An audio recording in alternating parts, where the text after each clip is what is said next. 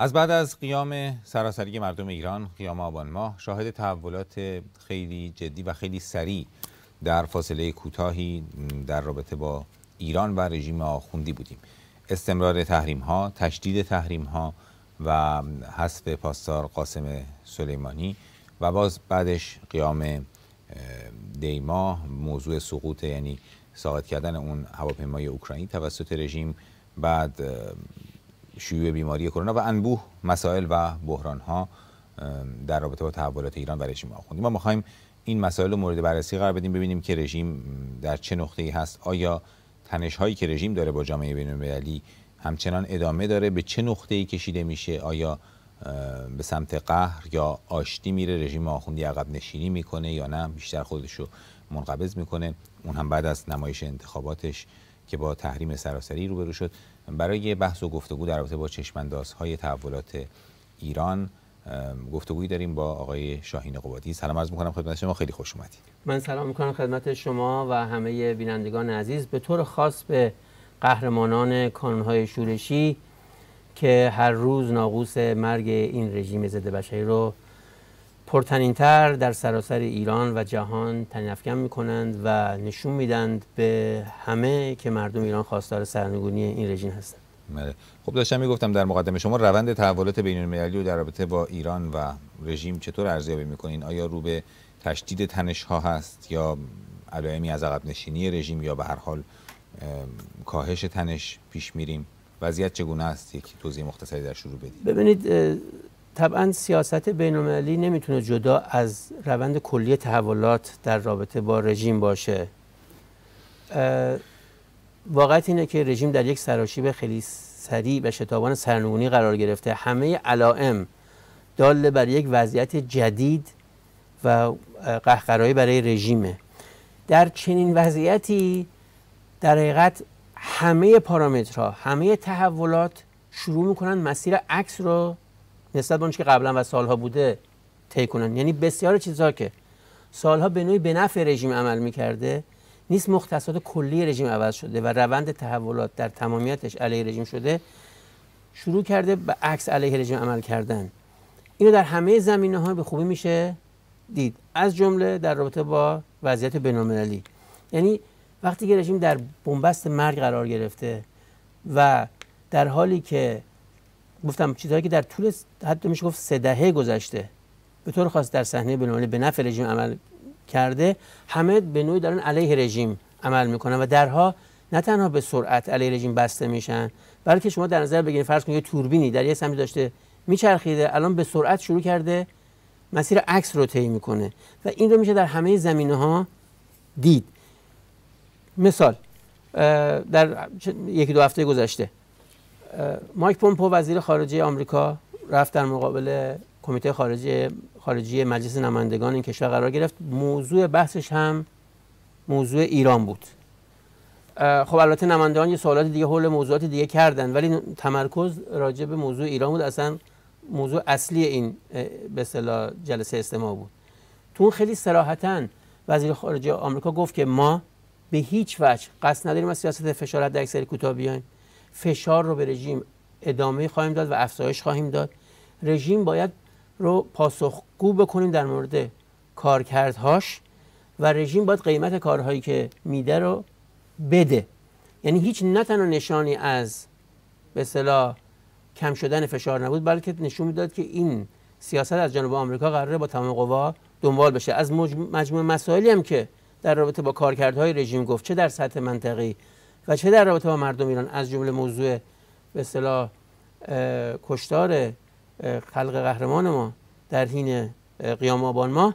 از غذا به این بحران ویروس کرونا هم اشاره کرد. گفت آقا این رژیمی است که لاپوشونی می‌کنه دروغ میگه و حتی در این زمینه به مردم خودش رحم نمی‌کنه و یکی از اصلی ترین نگرانی های جامعه جهانی در رابطه با ویروس کرونا روی کرده رژیم آخوندی. این تا که با آمریکا برمیگرد خب رژیم به طور خاص بعد از اینکه آمریکا از برجام اومد بیرون واضح بود که امید داشت که اروپا به نوعی سپری بشه دفاعی در مقابل آمریکا. یعنی رژیم می‌خواست که به اصطلاح اروپا رو در مقابل آمریکا یه صدی بکنه که به نوعی فشار تحریما رو کم بکنه.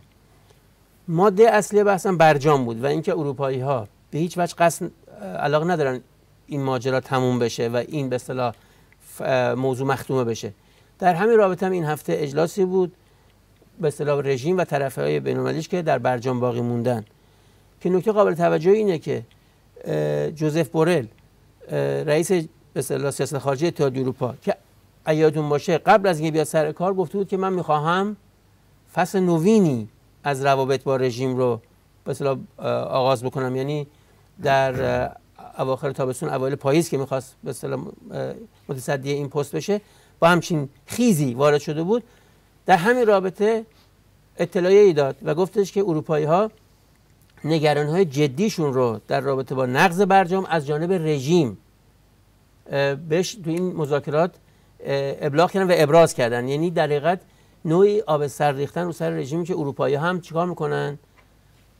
فاصله خواهند گرفت. ایاتون باشه ما گذاشتم سه کشور اصلی اروپایی اعلام کردن که این مکانیزم ماشه رو می‌خوان فعال کنن و اینم اولین اجلاس در همین رابطه بود که تمام علائم داله بر که اینا رفتن به رژیم چیزهایی رو ابلاغ کردن. یعنی در حقیقت نگرانی‌هاشون رو به رژیم ابراز کردن. نکته قابل توجه از حرفای عراقچی هم که طرف حساب رژیم توی مذاکرات بود کاملا برمی اومد که هیچ پیشرفتی برای رژیم در این رابطه نبوده. رویتر هم که گزارشگر نوشت پیشرفت خیلی کمی حس می شد پیشرفت خیلی کم در مذاکرات یعنی در زبان دیپلماتیک یعنی هیچ پیشرفتی نبود. این تانجی به موضوع اروپا اجازه بدین من سوال کنم ازتون. خب درسته که پیشرفتی حاصل نشده و بالاخره در حاله ای از ابهام هست موضوع برجام و سایر مسائل. ولی خب به حال رژیم تا اینجا کجدار و مریض اومده.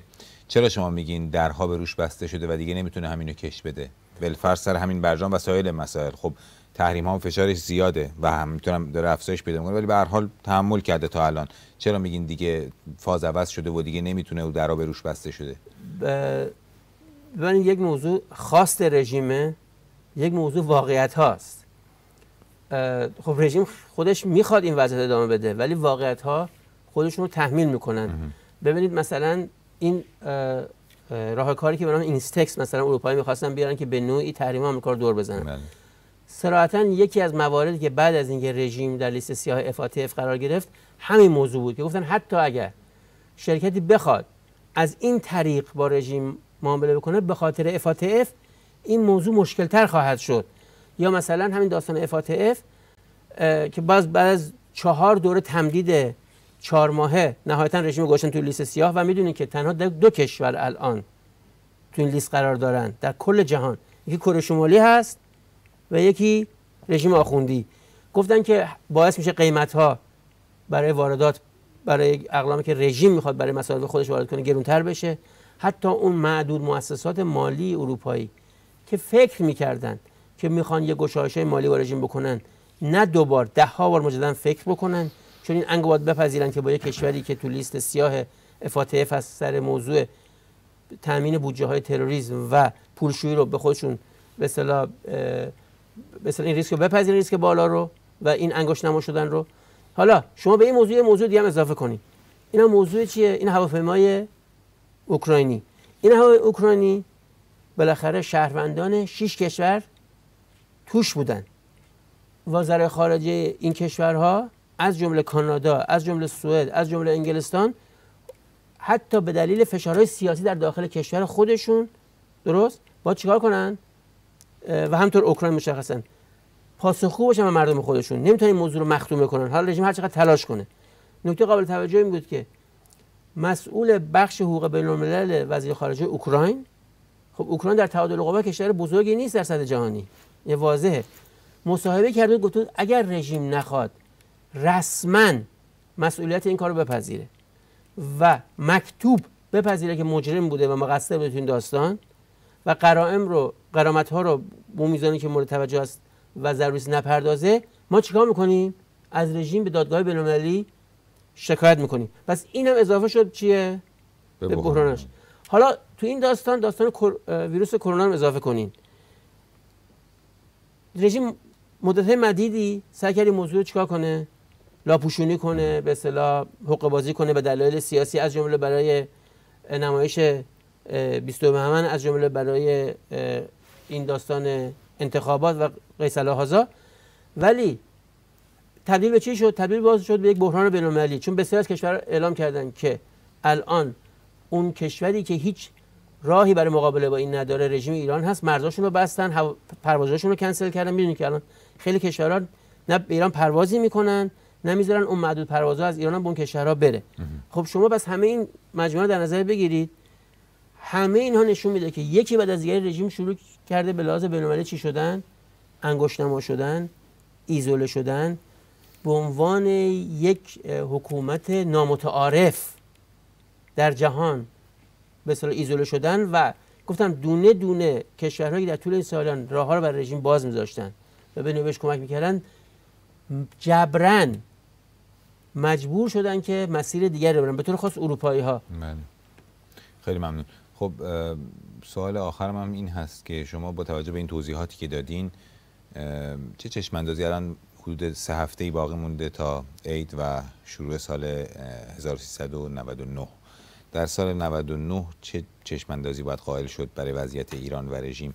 امیدی برای گشایش هست؟ تحولی صورت بگیره و یا مثلا رژیم اقدامی بکنه که این وضعیتی که گفتین یا کشش بده یا به حال چشماندازی برای گشایش با جامعه بین‌المللی به وجود بیاد. اینو اگه بشه در عرض دو دقیقه برای ما توضیح بدین. تا اونجا که به معادلات برمیگرده و روند تحولات هیچ چشماندازی وجود نداره علت هم این است که رژیم یا باید دست به به عقب نشینی های جدی بزنه که نه همچین ظرفیتی داده و نه همچین روی کردی چرا؟ خامنه بهتر از هر کس می‌دونه که علل خصوص با توجه به وضعیت انفجاری جامعه این پروسه سرنگونی رژیم رو تسریع می‌کنه. پس این راه رو خودش در مقابل خودش بسته می‌بینه. از اون طرف هم هیچ بلاز بینالمللی در نقطه نیست که بخواد مثلا عقب بشینه و به قول معروف واپس به تمرگه.